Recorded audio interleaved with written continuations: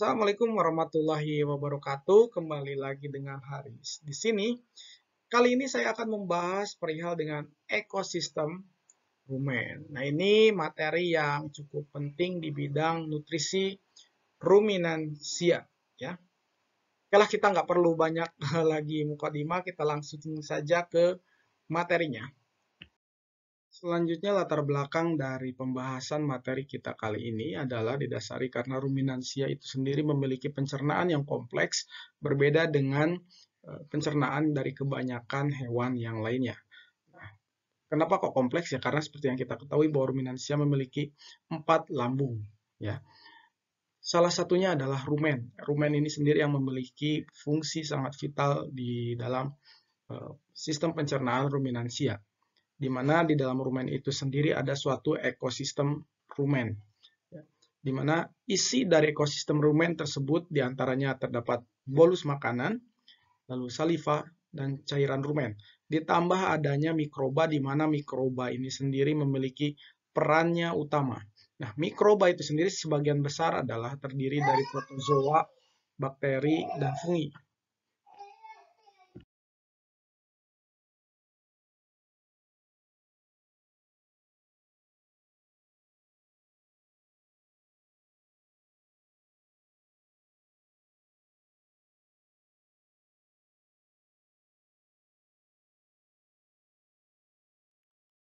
Kita bisa lihat di sini ada gambar uh, saluran pencernaan ruminansia. Sistem pencernaan ruminansia dimulai sebenarnya pada mulut. Pada mulut itu sendiri ada terjadi proses pencernaan secara mekanik.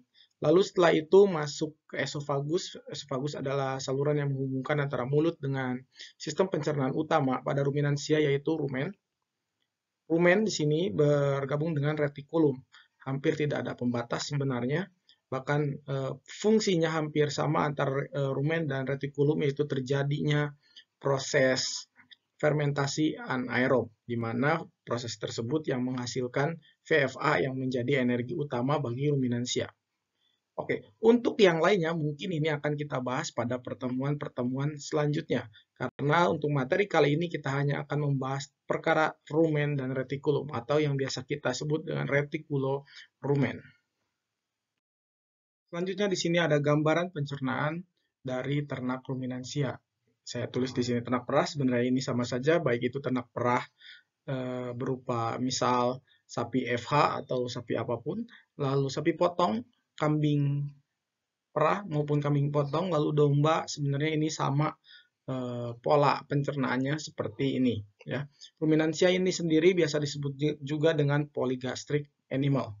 Lalu pencernaannya seperti yang sudah saya sebutkan tadi di awal, pencernaan pertama secara mekanik, lalu pencernaan secara fermentatif di dalam rumen, lalu pencernaan enzimatik di dalam abomasum. Rumen itu sendiri biasa disebut dengan perut handuk karena memang bentuknya yang menyerupai dengan handuk di mana terdapat fili-fili yang fungsinya yaitu untuk menyerap dari nutrisi yang ada di dalam rumen berupa VFA. PFA ini yang nantinya akan digunakan sebagai energi utama bagi ruminansia. Nah, kadar air pakan yang ada di dalam rumen itu sekitar 60-70 persen. Selain itu, isi rumen memang bisa digunakan juga sebagai pakan ternak atau diolah e, menjadi pakan ternak. Yang ketiga, hasil pencernaannya yaitu berupa asam lemak atsiri atau e, biasanya kita sebut juga dengan volatil fatty acid atau asam lemak terbang. Selanjutnya di retikulum. Nah, ini retikulum itu biasa disebut juga dengan perut jala karena memang bentuknya seperti jala atau biasa disebut juga dengan honeycomb karena memang bentuknya seperti sarang lebah. Nah, di dalam retikulum itu sendiri memang terjadi proses pencernaan secara anaerob sama seperti halnya yang terjadi pada rumen. Lalu di sini juga terjadi penyaringan benda-benda yang tidak dapat termakan oleh ternak. Kita masuk ke pembahasan inti. Di dalam suatu ekosistem rumen yang paling memiliki peran utama pada eh, proses pencernaan secara anaerob terutama, yaitu ada mikroba rumen. Nah, mikroba rumen ini sendiri sebagian besar terdiri dari bakteri, protozoa, dan jamur atau yang biasa juga disebut dengan fungi. Semuanya memiliki perannya masing-masing, di mana ketiganya ini memiliki peran yang sangat penting bagi eh, proses pencernaan yang terjadi pada rumen. Yang pertama bagian dari mikroba yang akan kita bahas adalah bakteri. Tentunya bakteri ini memiliki peran yang sangat penting. Bakteri adalah biomas terbanyak, memiliki jumlah paling banyak eh, di dalam penyusun mikroba yang ada di dalam rumen. Populasinya sekitaran 1 kali 10 pangkat 9. Nah, bakteri ini sendiri memiliki fungsi eh, pertama adalah pendegradasi nutrien. Jadi mendegradasi makro-makronutrien menjadi mikronutrien. Jadi pemecahan-pemecahan eh, nutrisi. Lalu memiliki fungsi juga sebagai degradasi racun. Nah, ini mengapa ruminansia itu agak kebal dari racun karena memang ada beberapa enzim dan beberapa mikroba yang bisa mendegradasi racun. Bakteri yang terdapat di dalam rumen di antaranya ada selolitik, proteolitik, metanogenik, lipolitik, amilolitik, pencerna gula hemiselolitik, dan pemanfaat asam. Selulolitik, bakteri, bakteri selolitik ini berfungsi untuk mencerna selulosa. Ya, seperti yang sudah pernah saya sampaikan. Proteolitik itu untuk mencerna protein, lalu lipolitik itu untuk e, mencerna lemak, amilolitik untuk mencerna amilum atau mencerna pati, lalu pencerna gula juga. Hemiselolitik adalah untuk mencerna hemiselulosa, lalu pemanfaat asam karena di sini mungkin nanti dihasilkan bakteri-bakteri asam laktat dan mate, e, bakteri metanogenik yang bisa membentuk e, metan ya, gas metan. Selanjutnya kita akan membahas beberapa fungsi utama dari bakteri rumen. Nah, salah satunya adalah untuk memfermentasi karbohidrat. Di dalam rumen, karbohidrat dalam bentuk mungkin polisakarida itu akan difermentasi oleh beberapa mikroba, terutama bakteri, sehingga akan menghasilkan gula. Ya, Gula atau glukosa adalah salah satu karbohidrat terpenting yang digunakan sebagai sumber tenaga bagi hewan. Monomer e, dari gula tersebut itu difermentasi di metabolisme lebih lanjut eh, oleh enzim intraseluler ya membentuk sehingga membentuk e, virufat menghasilkan kerangka karbon dari virupat di sini menghasilkan kerangka karbon. Rangka karbon ini akan disintesis ya oleh sel mikroba sehingga membebaskan sejumlah energi dalam bentuk adenosin trifosfat atau ATP. Lalu ada CO2 dan CH4 atau yang biasa disebut dengan uh, gas metan ya. Nah, CO2 dan CH4 ini, CO2 dan CH4 dikeluarkan dari rumen melalui proses eruktasi. Karena kalau kebanyakan maka dapat menjadi kembung bagi ternak. Maka ketika kebanyakan akan dieruktasi atau disendawakan, dikeluarkan dari dalam rumen. Lalu energi yang bentuknya dalam ATP itu digunakan untuk memenuhi kebutuhan hidup pokok dan pertumbuhan mikroba rumen. Sedangkan pirufat sendiri itu nantinya akan dimetabolisme sehingga menghasilkan beberapa volatil fatty acid, VFA. Ya, beberapa volatil fatty acid itu terdiri dari asetat, butirat, dan propionat. Dari ketiga VFA ini adalah sumber energi utama bagi ternak ruminansia di mana asetat, butirat, propionat itu akan diserap di dalam retikulum rumen ya, baik itu oleh rumen maupun retikulum. Memang sebagian besar nanti diserap melalui fili-fili yang ada di dalam rumen.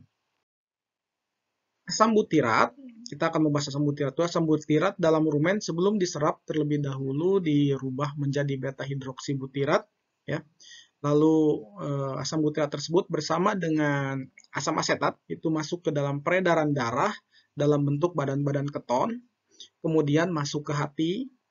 Setelah itu nantinya dalam jaringan tubuh digunakan sebagai sumber sumber energi ya untuk sintesis lemak tubuh.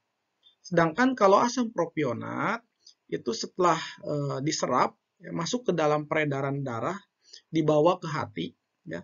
Di hati asam ini diubah menjadi glukosa. Nah glukosa ini bersamaan dengan keton dan asetat akan dibawa ke otot ya akan dibawa ke otot. Eh, setelah itu eh, ada beberapa juga yang masuk ke dalam jaringan adiposa dan glandula mamari. Nah, di dalam otot ini dan di beberapa jaringan yang dimasuki oleh apa namanya glukosa ini, maka glukosa tersebut akan menjadi sumber energi. Ya, menjadi sumber energi dan beberapa glukosa itu dirombak menjadi laktosa untuk proses produksi susu. Sedangkan di dalam jaringan adiposa, glukosa, keton, terus asam asetat itu akan menghasilkan energi dan sisanya menjadi lemak. Fungsi selanjutnya dari uh, bakteri adalah untuk menghidrolisis protein. Nah, menghidrolisis protein ini bakteri bersamaan dengan protozoa dan fungi sebenarnya. Namun memang bakteri memiliki peran yang sangat penting ya. Nah, sedangkan protein itu sendiri dihasilkannya dari mana? Dihasilkannya adalah dari uh, diet makanan, lalu dari saliva, mungkin ini kalau dari saliva ini dalam bentuk N ya. Uh, protein yang ada di dalam bahan pakan ini selanjutnya dia akan dihidrolisis, difermentasi sehingga menghasilkan peptida yang menjadi peptida. Tentunya difermentasinya itu adalah oleh mikrobanya ya. Mikrobanya itu ya ini terdiri dari bakteri, terdiri lalu terdiri dari fungi dan protozoa ya. Mohon maaf dari bakteri, protozoa, fungi. Urutannya memang seperti itu. Yang menjadi peptida hingga akhirnya dia dihidrolisis lagi menjadi asam amino ya. Yang selanjutnya eh, asam amino ini didegradasi lagi menjadi NH3. Nah, uniknya hasil dari eh, apa degradasi-degradasi protein ini di mana asam amino dan NH3 ini dia justru nanti dimanfaatkan lagi atau mungkin ya bisa dibilang dikonsumsi oleh bakteri ya, oleh mikroba lah intinya oleh mikroba, bakteri, protozoa, fungi mungkin ya. Nah, itu untuk tumbuh kembang mereka. Istilahnya yang mungkin sebagai energi dan pakan mereka lah untuk tumbuh kembang mereka ya, mikroba. Nah, sedangkan mikrobanya itu sendiri setelah mereka eh, banyak diproduksi, mungkinnya banyak berkembang biak dan banyak memperbanyak diri, maka setelah itu akan mencapai titik jenuh pada akhirnya dia mati. Nah, mikroba inilah yang pada akhirnya dimanfaatkan uh, sebagai sumber N utama untuk ruminansia ya, di mana dimanfaatkan dan diserap uh, di omasum ya di uh, beberapa N ini diserap di omasum, omasum dan mungkin nanti ada di abomasum. Nah, selain itu ada juga protein yang bypass. Jadi protein yang tidak didegradasi oleh mikroba. Ada beberapa mungkin protein yang terproteksi itu bisa di bypass hingga masuk langsung ke dalam pemasung. Hal inilah yang menyebabkan mengapa bahwa ruminansia itu tidak perlu diberikan pakan yang memiliki uh, protein kualitasnya yang proteinnya itu cukup bagus ya karena memang kebanyakan protein-protein yang memiliki kualitas bagus atau memiliki uh, kualitas eh, hayati ya yang bagus itu akan didegradasi oleh mikroba rumen. Jadi nantinya dimanfaatkan oleh mikroba rumen ya tidak langsung secara uh, bypass yang karena ini berbeda dengan yang terjadi di monogastrik. Protein-protein kualitas bagus tersebut justru akan dimakan atau dimanfaatkan oleh uh, mikroba rumen ya. Nah, setelah itu baru mikroba rumennya yang akan dimanfaatkan oleh ternak. Jadi proteinnya percuma ya kalau misalkan uh, diberikan protein yang terlalu bagus. Nah, daya degradable protein ini tentu dipengaruhi oleh uh, oleh daya larut proteinnya itu sendiri ya. Untuk protein-protein yang mudah larut, maka dia akan dimanfaatkan oleh mikroba, sedangkan protein yang uh, kelarutannya cukup kurang, itu dia biasanya akan bypass ya. Justru itu sebenarnya yang dibutuhkan ya. ya. Jadi protein yang bypass sehingga tidak didegradasi memiliki protein yang kualitas bagus ya. Dimanfaatkan oleh ternak itu. Sebenarnya memang yang dibutuhkan bypass itu adalah protein-protein yang harusnya protein-protein bagus. Makanya biasanya ada metode di mana protein ini eh, diusahakan menjadi bypass langsung ke omasum gitu tanpa melalui proses uh, fermentasi ya. Nah, itu dapat dilakukan dengan cara enkapsulasi ya. Salah satunya cara enkapsulasi biar si proteinnya ini uh, langsung ke omasum gitu ya, tidak melalui proses fermentasi. Karena akan sangat rugi untuk protein-protein yang kualitasnya bagus itu difermentasi dulu ya, akan sangat rugi. Jadi lebih bagus dia itu bypass. Seperti yang sudah saya sampaikan sebelumnya bahwa jumlah bakteri di dalam rumen itu ya sekitaran 10 pangkat 9 hingga 10 pangkat 11 per gram isi rumen ya. Lalu eh, perkembangan dari bakteri ini memang terbilang sangat cepat atau paling cepat di antara protozoa dan fungi. Selain itu bakteri eh, juga sangat mampu memanfaatkan amoniak atau NH3 sebagai penyusun sel protein bakteri. Nah, Jenis bakteri rumen itu didasarkan atas kemampuan mereka menghidrolisis ataupun memfermentasi kandungan pakan ternak. Ya, seperti menghidrolisis selulosa, hemiselulosa, pati, monosakarida, gula, asam laktat, dan lain sebagainya. Selanjutnya akan kita bahas beberapa contoh dari bakteri. Nah, ini yang pertama kita bahas tentang bakteri selulolitik atau bakteri pencerna selulosa atau serat ya. Jadi kalau misalkan selulolitik maka dia adalah jenis dari bakteri. Sedangkan kalau selulase belakangnya ase itu adalah ciri-ciri dia adalah enzim ya. Nah, bakteri ya, eh, bakteri selulolitik ini adalah bakteri yang mampu memfermentasi selulosa karena menghasilkan enzim selulase yang dapat menghidrolisis ikatan beta 1,4 glikosida ya, juga dapat menghidrolisis hemiselulosa. Bakteri ini dapat hidup pada pH sekitar 6 sampai 7. Contoh bakteri selulotik di antaranya ada Ruminococcus flavefacin, ya, Ruminococcus albus, Bacteroides succinogenes, lalu Butiri, Butyrifibrio fibrisolvans. Ya, memang agak-agak sulit ya nama-namanya. Ini bakteri-bakteri selulotik yang spesifik ada di ruminansia atau ada di rumen ya. Selanjutnya bakteri hemiselulolitik. Nah ini bakteri ini mampu menghidrolisis hemiselulosa namun tidak dapat menghidrolisis selulosa. Contoh bakteri dari hemiselulolitik itu di antaranya Butyrofibrio fibrosolvent, Bacteroides ruminicola, Ruminococcus species ya. Selanjutnya ada bakteri amilolitik. Bakteri amilolitik ini yaitu bakteri yang dapat memfermentasi pati ya. E, biasanya dia hidup di pH 5 sampai 6. Contohnya ada Streptococcus bovis, lalu Bacteroides amylophilus, Bacteroides ruminicola, Succinomonas amylolitica. Ya. Selanjutnya ada bakteri proteolitik. Nah, bakteri ini mampu mengubah protein ransum menjadi NH3 ya dengan proses-proses dari hidrolisisnya ya. Nah, proses yang membutuh proses eh, apa namanya? proses hidrolisis ini membutuhkan energi cukup banyak yaitu sekitaran 3 sampai 5 mol ATP. Nah, jumlah bakteri ini lebih dari 30% total bakteri rumen. Jadi cukup banyak eh, populasinya. Lalu contoh bakteri dari proteolitik ya. bakteri pencerna protein ini adalah Clostridium sporogenes, Selenomonas, Butyrfibrio bacteroides. Ya. Lalu selanjutnya di sini ada bakteri lipolitik, di mana bakteri ini dia mampu mencerna lemak. Ya. Nah, bakteri ini dapat menggunakan gliserol sebagai eh, bahan ya untuk didegradasi dan beberapa gula serta asam lemak. Contoh dari bakteri ini di antaranya ada Bacterium sp, Fusosilus sp, Micrococcus sp.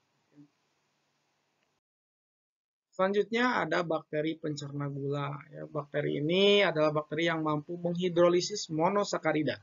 Ya, contoh dari bakteri pencerna gula di antaranya Lactobacillus ruminus, Lactobacillus virulinus, Treponema brillanti. Ya. Nah, selanjutnya ada bakteri ureolitik. Bakteri ini dia mampu menghidrolisis urea menjadi CO2 dan NH3. Ya.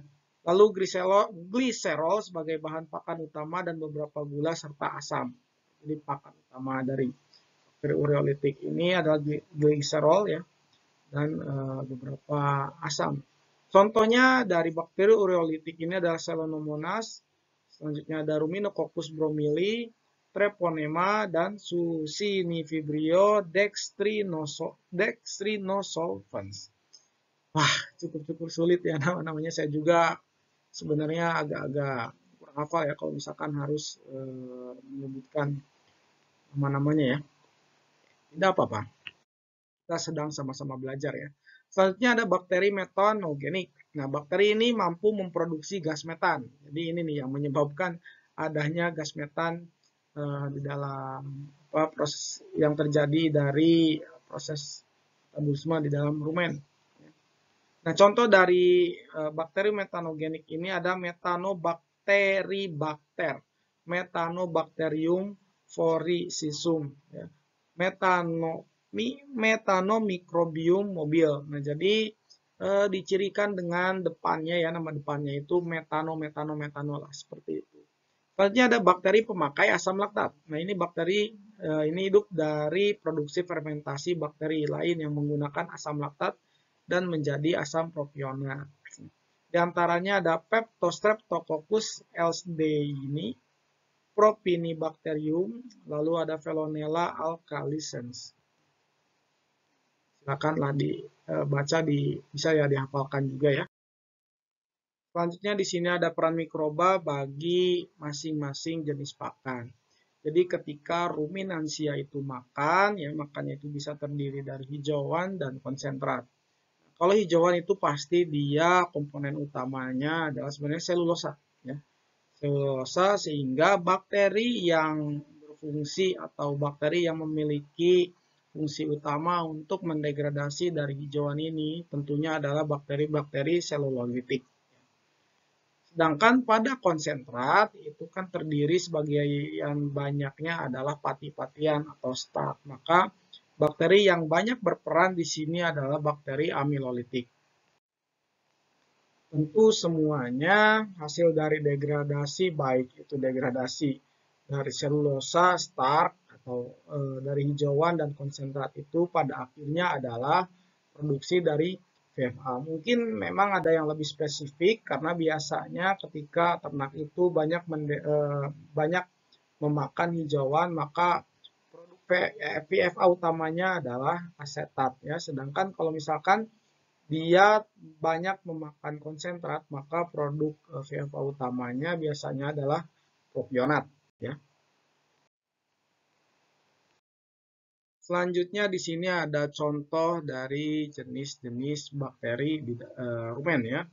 Nah, salah satunya di sini ada Fibrobacter sucinogenes ya. Dia memiliki fungsi sebagai selolitik atau pencerna serat, lalu juga sebagai amilolitik atau pencerna pati-patian. Produk utamanya ini adalah format, lalu asetat dan susinat ya.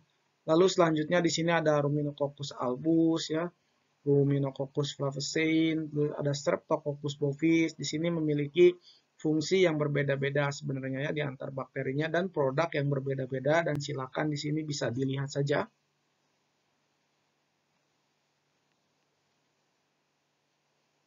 Oke, ya bisa di uh, pause untuk dibaca dan di, mungkin dicatat ya.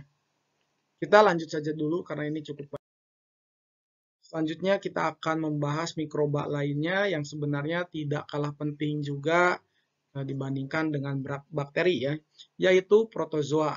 Nah, protozoa ini sendiri dia adalah produsen dari produsen utama dari uh, asam propionat ya. Jumlahnya itu sekitaran 10 pangkat 5 sampai 10 pangkat 6 sel per gram cairan rumen.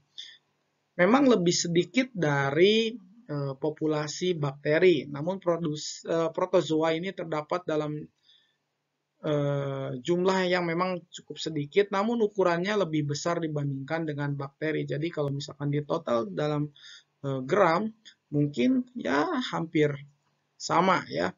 Nah selain itu protozoa, protozoa juga menja berfungsi menjaga kestabilan proses fermentasi dan pH.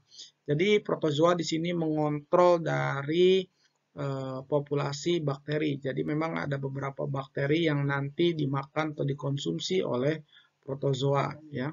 Dan kadang jika uh, ruminansia itu memiliki atau diberikan pakan yang marginal atau pakan-pakan yang kualitasnya jelek, maka biasanya protozoa yang tumbuhnya itu akan banyak ya. Kenapa? Karena ya memang pakan-pakan jelek itu pertama akan didegradasi mungkin oleh bakteri.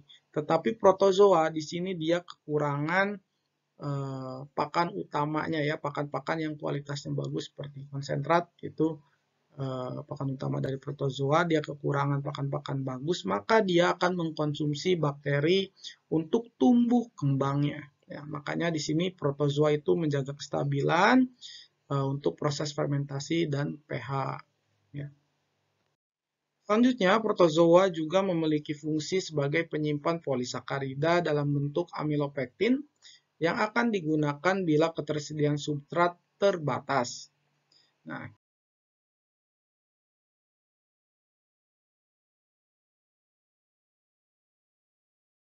Lalu di mana keberadaan protozoa? Nah, keberadaan protozoa ini dia melekat pada partikel pakan. Jadi kalau misalkan ada pakan masuk, maka protozoa akan eh, cepat-cepat apa namanya itu menyerang si pakan.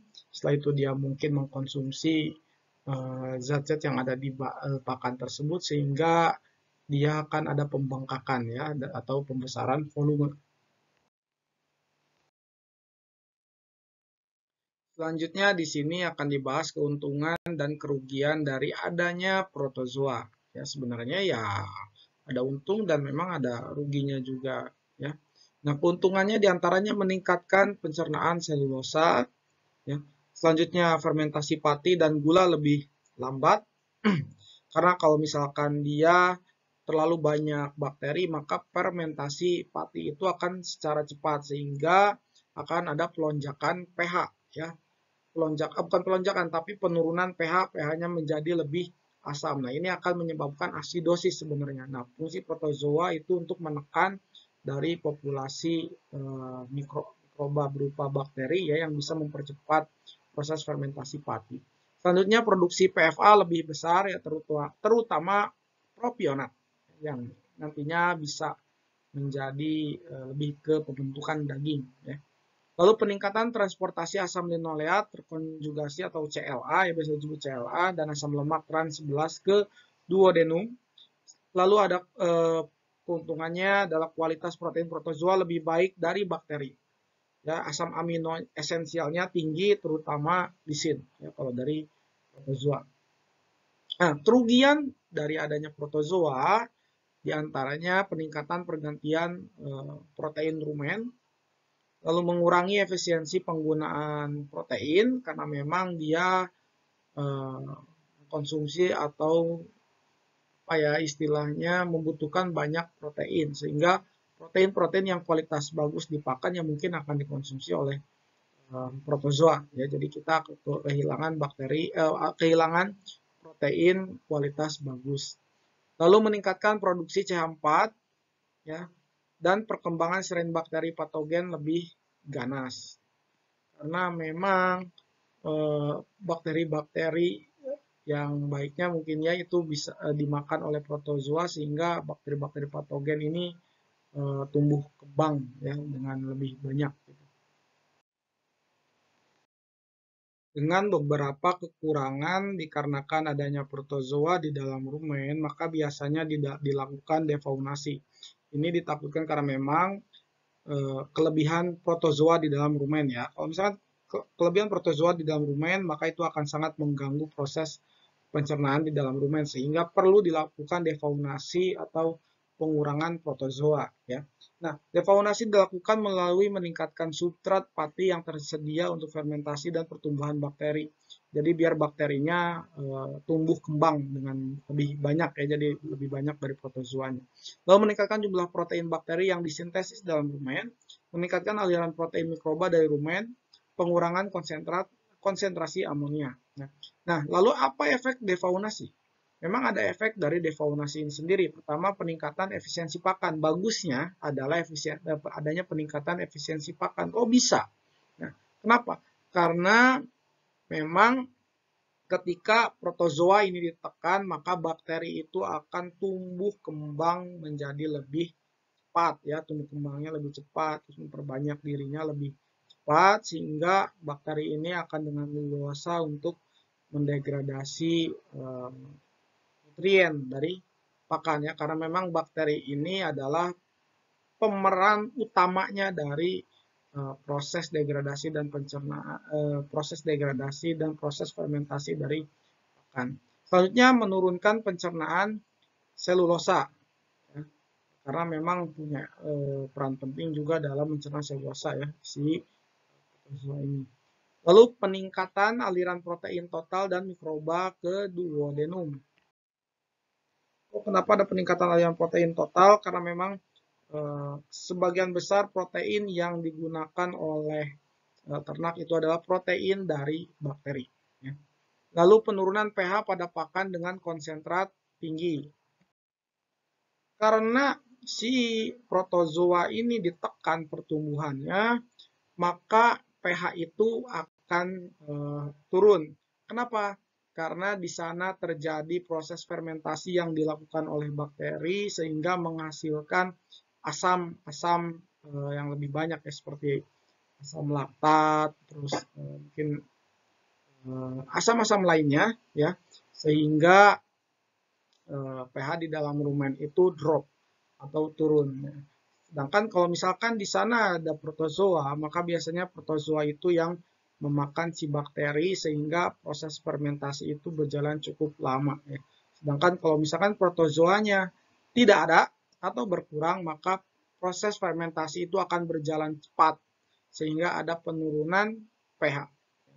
Nah, selanjutnya ada produksi propionat meningkat, butirat turun karena memang produksi utama dari Eh, protozoa ini adalah ke propionat. Ya.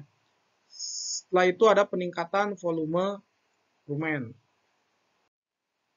Kenapa ada peningkatan volume rumen? Sepertinya di sini dikarenakan adanya pertumbuhan dari bakteri. Ya. Pertumbuhan dari bakteri. Selanjutnya di sini ada beberapa agen Eh, defaunasi protozoa ya di antaranya di sini yang biasa digunakan adalah daun kembang sepatu. Kenapa kok menggunakan daun kembang sepatu? Karena daun kembang sepatu di sini mengandung banyak saponin yang dapat dicirikan jika dia diremas maka keluar diremas-remas ya maka dia keluar busa. Nah itu busa itu adalah saponin. Nah, di sini saponin fungsinya adalah mampu melisiskan protozoa dengan membentuk ikatan yang kompleks ya dengan sterol yang terdapat pada permukaan membran protozoa. Selain itu, beberapa penelitian juga menyebutkan bahwa saponin itu dapat menghambat proses metanogenesis atau proses pembentukan met, e, gas metan ya di dalam rumen sehingga hal ini dapat membuat produktivitas ternak menjadi lebih efisien. Ya. Tentu penggunaannya dalam jumlah yang terbatas karena saponin sendiri yang memiliki efek racun juga bagi ternak sebenarnya ya. Nah, contoh lainnya di sini ada minyak nabati. Minyak nabati di sini dia akan kontak dengan saliva ya sehingga akan eh, menjadi proses saponifikasi ya menjadi saponifikasi setelah itu dia membentuk menjadi saponin ya saponin sendiri ini yang akan memberantas si protozoanya ya dengan melisiskan protozoanya. Selanjutnya ada fungi. Fungi di sini memang jumlahnya paling sedikit tapi dia punya peran-peran sangat penting ya terutama untuk mendegradasi serat serat-serat yang kadar seratnya memang cukup tinggi ya. Di sini dijelaskan bahwa fungi pertama mampu menghasilkan enzim selulase dan silanase kadar tinggi. Jadi memang bisa mendegradasi serat dan silan ya dalam kadar yang tinggi bahkan ya. Jadi memang eh, fungi ini dia berkoloni ya di dinding sel tanaman ya. Setelah itu dia membuka jalan membuka jalan untuk mikroba masuk ke dalam sel-sel tanaman tersebut untuk mendegradasi nutrien yang di dalamnya. Memang dalam hal mendegradasi uh, sel tanaman atau apa ya istilahnya mendegradasi selulosa lah ya. Nah, fungi ini mempunyai keahlian atau kemampuan yang lebih bagus dibandingkan bakteri. Ya. Namun memang kalau di totalkan dalam jumlahnya ya lebih sedikit ya. Karena lebih sedikit maka ya memang bakteri itu bisa disebut adalah eh, pencerna terbaik. Karena dari jumlahnya sekali lagi karena dari jumlahnya. Sedangkan kalau misalkan dari individunya sendiri yang paling bagus untuk e, mencerna atau apa istilahnya merusak dinding sel itu adalah fungi sebenarnya ya. Jadi fungi adalah yang membuka jalan bagi bakteri untuk masuk mendegradasi sel dari nutrien-nutrien pakan tersebut. Ya. Selanjutnya, hasil inkubasi pakan berserat oleh jamur rumen lebih lunak dibandingkan oleh bakteri. Ya. Memang Eh, fungsinya lebih apa ya secara pribadi mungkin lebih bagus dari bakteri ya bakteri ya bisa lebih bagus disebut lebih bagus kenapa ya? Karena populasinya sekali lagi ya. Lalu mampu bersintrofi dengan e, bakteri ya memang sangat bisa bekerja sama dengan bakteri ya. Hubungannya adalah simbiosis mutualisme sebenarnya. Ini jamur atau fungi.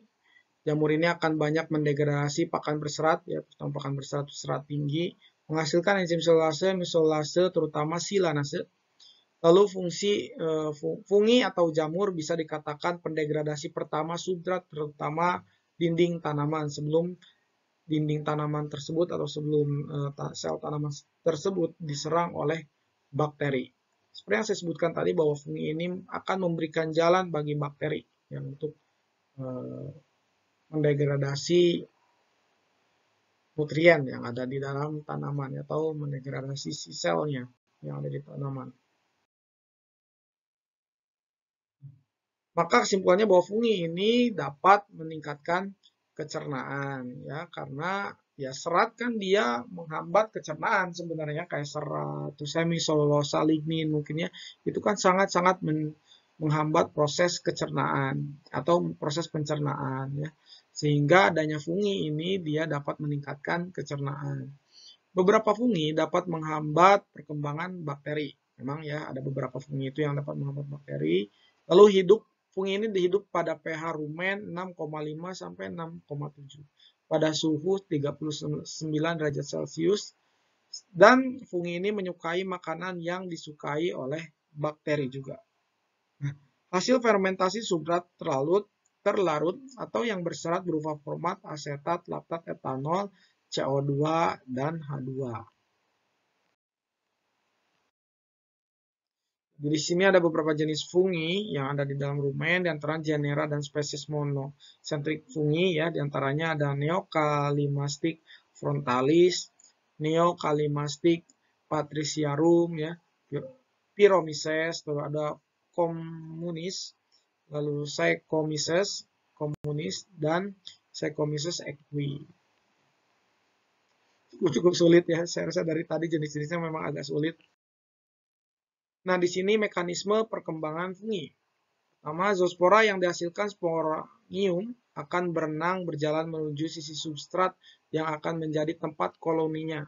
Biasanya bagian dari lignoselulosa. Nah, di sinilah kehebatan dari fungi ya, dia bisa E, mendegradasi beberapa lignoselulosa di dinding tanaman. Ya.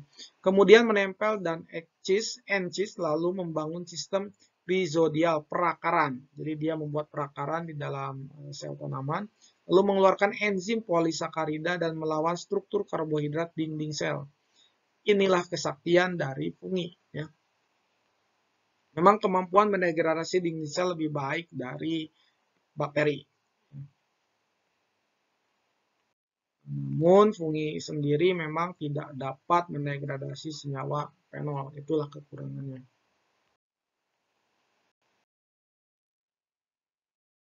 Baik, tadi ada eh, beberapa jenis-jenis uh, mikroba di dalam rumen. Selanjutnya di sini ada syarat terjadinya proses pencernaan fermentatif. Nah, di antaranya penyediaan pakan konstan ya yang konstan jadi tidak berubah-ubah karena kalau berubah-ubah maka proses fermentasinya itu akan berubah juga sehingga tidak akan baik bagi ternaknya ya Lalu hasil akhir fermentasi berupa VFH harus keluar untuk diabsorpsi, sedangkan CO2 dan CO4 dikeluarkan melalui eruktasi, jadi disendawakan. Nah, pakan yang tidak dicerna harus dikeluarkan. Memang dikeluarkan lewat feses biasanya. ya. pH rumen sekitar 6,7 sampai 7, jadi cenderung netral, karena kalau terlalu asam maka ada kan ada beberapa eh, kegagalan-kegagalan proses pencernaan atau metabolisme ya seperti uh, adanya penyakit asidosis nantinya. Temperatur rumen sekitaran 38 sampai 39 derajat Celcius ini adalah suhu yang disukai oleh mikroba. Ya. Kondisi, kondisi rumen anaerob karena memang uh, fermentasinya secara anaerob dan di sana terdapat mikroba-mikroba anaerob. Keadaan rumen harus lebih banyak airnya normalnya eh, bahan keringnya adalah 10% dari volume cairan ya, kadar bahan keringnya. Mikroba sekitar 10% dari volume cairan rumen. Jadi kehadiran mikrobanya itu adalah sekitar 10% dari volume total cairan cairan rumen. Selanjutnya ini ekosistem lainnya atau uh, populasi dari ekosistem lain uh, yang selain dari mikroba itu di dalam uh, dalam apa namanya rumen itu ada saliva. Saliva ini memang dihasilkannya di mulut sebenarnya sebenarnya ya oleh oleh glandula-glandula. Nah, saliva ini sendiri adalah komponen organik dan anorganik. Lalu dia juga mempunyai fungsi untuk membasahi pakan agar mudah ditelan, menjaga pH rumen karena dia berfungsi juga sebagai buffer Lalu suplai nutrien mikroba sekitar 70% urea ya. Lalu recycling urea sekitar 10% dari nitrogen pakan. Ya, jadi di sini juga dia bisa sebagai penyuplai nutrien mikroba karena dia mengandung 70% urea atau N. Nah, di sini disebutkan bahwa saliva disekresikan oleh tiga pasang glandula saliva, yaitu glandula parotid yang terletak di depan telinga, lalu glandula, glandula sub mandibularis dan sumba atau sumbaxillaris. Komponen anorganik terbanyak dari saliva ini adalah sodium dan uh, potasium sebenarnya ya. Nah, selain itu juga di dalam saliva ini jelas terdapat beberapa enzim seperti amilase, maltase, serum albumin, asam urat dan sebagainya.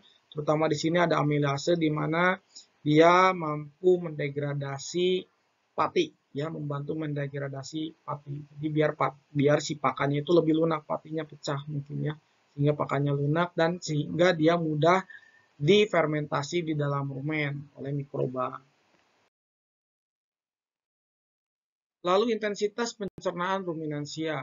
Memang pertama pakan itu akan masuk ke dalam kerong, eh, masuk ke dalam mulut ya dikunyah secara mekanik masuk ke kerongkongan lalu dalam rumen, nah di sana dilakukan proses pencernaan baik itu pencernaan protein, polisakarida, fermentasi selulosa juga e, lalu nanti dia masuk ke retikulum berbentuk bolus ya kalau misalkan dia masih kasar maka dia e, akan di apa namanya di regurgitasi untuk diremastikasi ya dikunyah kembali setelah itu ke omasum dan setelah itu ditelan lagi lalu ke omasum abu masum Nah, keuntungan dari ruminansia ini pertama dia dapat mencerna bahan makanan berkadar serat kasar tinggi. Jadi memang kalau untuk ngasih pakan ruminansia yang penting ada seratnya lah, ya. Itu sangat penting. Lalu kedua mampu mengubah sembarang N termasuk non protein nitrogen atau seperti urea ya menjadi protein bermutu tinggi atau protein uh, mikroba yang nah protein mikroba itu sendiri yang nanti akan dimanfaatkan oleh inangnya ya. Keperluan asam amino untuk memenuhi nutrisi proteinnya tidak tergantung pada kualitas protein makanannya. Jadi kalau misalkan pun ruminansia itu diberikan protein eh, makanan dengan protein tinggi atau makanan dengan protein yang sangat bagus itu dikhawatirkan protein tersebut justru akan didegradasi oleh mikroba sehingga akan percuma sebenarnya ya. Jadi lebih baik memang eh, proteinnya ya terbatas, memang nanti ada sesuai rekomendasi-rekomendasi ya. Kalau misalkan kita di Indonesia maka ada pakan SNI, ya di sana ada eh, proteinnya harus berapa sampai berapa dan itu tidak terlalu besar berbeda dengan pakan ayam yang biasanya proteinnya cukup besar di atas 18%. ya. Tapi kalau untuk ruminansia itu sebenarnya cukup sekitaran 12%, kurang lebih 12% itu sudah cukup kandungan proteinnya karena dia ruminansia itu memanfaatkan lebih memanfaatkan serat. Nah, serat ini dimanfaatkan oleh mikroba, mikrobanya ini sendiri yang nanti akan menjadi protein atau menjadi uh, protein utama untuk ruminansia. Produk selanjutnya produk fermentatif disajikan ke usus halus dalam bentuk yang mudah dicerna. Kelima, kapasitas rumen besar mampu menampung banyak makanan sehingga proses makannya dapat berjalan dengan cepat. Jadi ruminansia itu makan cepat terus ditampung dalam rumen, setelah dalam rumen mungkin dia akan memahdiak ya. berbeda dengan uh, unggas yang makannya sedikit-sedikit tapi terus-menerus gitu. Kalau ruminansia enggak. Beranjak ke kesimpulan ya. Jadi ini mungkin materi terakhir bahwa kesimpulannya adalah berdasarkan hasil bahasan dari uh, yang tadi saya paparkan sebelumnya adalah ekosistem rumen memang ekosistem rumen terdiri dari rumennya sendiri lalu bolus makanan ya di dalamnya ada cairan rumen juga ada mikroba rumen dan saliva. Kesemuanya memiliki peranannya masing-masing ya. Seperti uh, bolus makanan ya bolus makanan itu dia fungsinya sebagai uh, makanan bagi mikroba rumen Lalu cairan rumen di sini ada rumennya ya biar si rumennya eh, cair, biar apa namanya mikroba rumen itu eh, mampu hidup di sana berkoloni dan berkembang biak di sana. Lalu ada mikroba rumen yang memanfaatkan bolus makanannya dan ada saliva di sini fungsinya sebagai buffer ya sebagai eh, sumber N juga untuk mikroba. Selanjutnya ada mikroba rumen terdiri dari golongan protozoa, bakteri, dan sejumlah kecil fungi. Jadi sebagian besar memang ada tiga mikroba di dalam rumen ya. Di antaranya ada protozoa, bakteri, dan sejumlah kecil fungi. Nah, setiap mikroba yang berada di dalam rumen memiliki peranannya masing-masing. Namun secara umum, mikroba memegang peranan penting dalam pemecahan makanan. Ingat ya bahwa mikroba itu memiliki peran penting dalam pemecahan makanan dan membantu ternak ruminansia dalam mencerna pakan yang mengandung serat tinggi menjadi asam lemak terbang. Pada intinya pakan-pakan berserat tinggi ini dia akan digunakan menjadi energi nantinya dalam berbentuk uh, volatil fatty acid atau VFA atau asam lemak terbang ya. Di antaranya dari asam-asam lemak terbang ini ada uh, asam asetat, propionat, butirat dan beberapa asam valerat ya serta asam isobutirat dan asam isovalerat yang sangat dibutuhkan oleh ternak sebagai sumber energi utama ternak ruminansia ya untuk kehidupan pokok dan produksinya. Lalu kandungan nutrien dalam pakan sangat mempengaruhi pH ya. Dan pH rumen mempengaruhi keberadaan dari mikroba pada rumen tersebut. Jadi perlu diperhatikan dalam pemberian pakannya, makanya harus seimbang. Jadi seimbang antara uh, sumber serat dan proteinnya. Itu bisa kita gunakan berdasarkan referensi-referensi penelitian yang sudah dilakukan sebelumnya. Baik, itu mungkin yang dapat saya sampaikan. Mungkin eh, pasti ya, ya ada beberapa kesalahan yang eh, saya sampaikan. Saya mohon maaf atas segala kurangan yang telah saya sampaikan. Jika teman-teman mendapatkan penyampaian yang salah dari saya, maka silakan ingatkan saya di kolom komentar. Ya, mungkin nanti itu bisa menjadi masukan untuk saya pribadi. Baik, saya cukupkan sekian. Bila taufik walidaya, wassalamualaikum warahmatullahi wabarakatuh.